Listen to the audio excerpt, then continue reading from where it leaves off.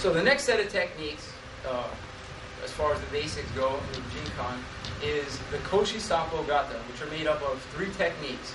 Ichimonji no Waza, Hicho no Waza, and Jumonji no Waza. The first technique you're going to see here is Ichimonji no Waza. Hajime!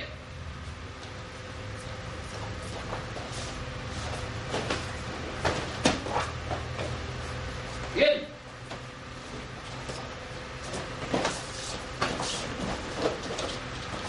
Okay,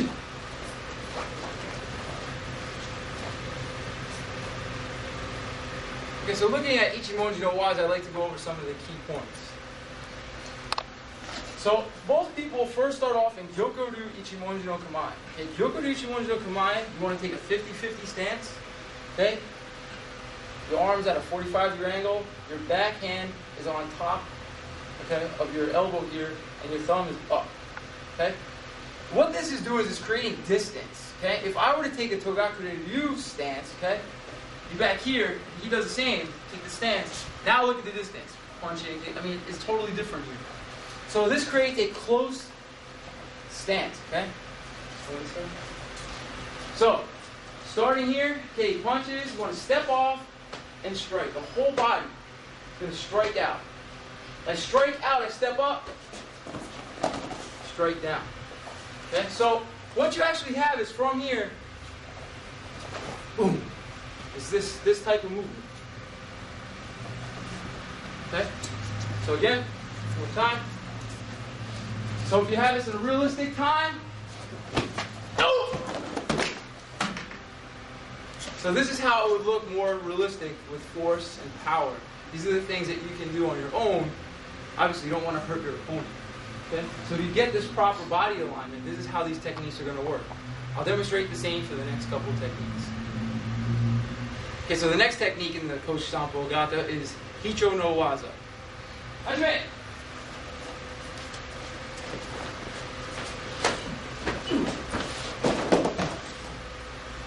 Good?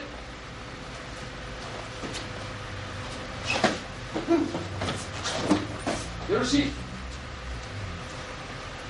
Again, I'd like to go over some of the points of this technique, Hicho no Waza.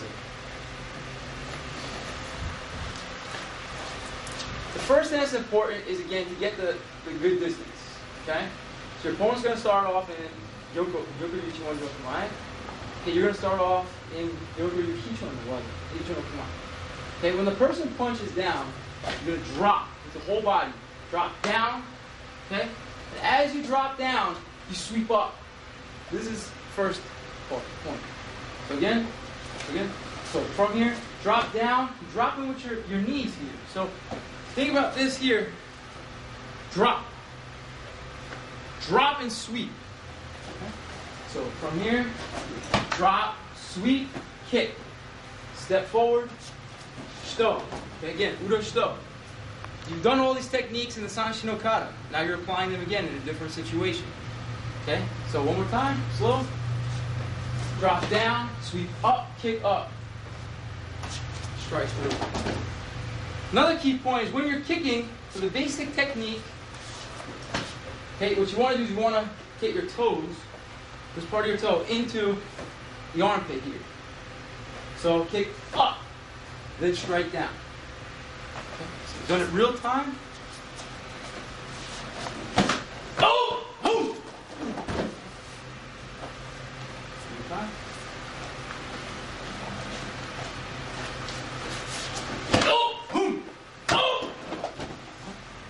So the third technique in the Koshi Sanpo Gata is Jumonji no Waza. Jumonji no Waza. That's it.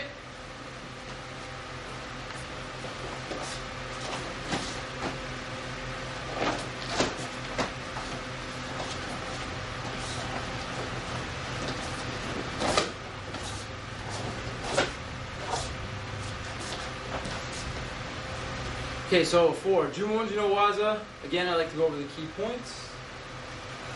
So again, I'm starting off in Jumonji no Kamae. Okay, he's starting off in Gyokuryu Ichimonji no Kamae. He's gonna step forward. I'm gonna lean back, but as I lean back, I'm gonna strike up. His arm's gonna go up. It's gonna create an opening. That's when I can come in with the Boshiken. Okay? Before he go, as he gets ready to punch again, I'm gonna give him fingers in the eyes just so that he doesn't come in right away. This is gonna stop him. He's then gonna punch it again. Strike up, in, fingers, step back. Jumonji Kamae. Again, the other side. So from Jumonji Kamae, step back, one, two, three. One, two, three. Step back. Okay, one more time, real time.